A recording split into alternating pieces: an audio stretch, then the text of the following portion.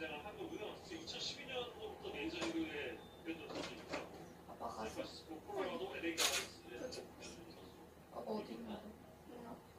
볼까요? 와, 예, 90분만 알려졌습니다. 150km.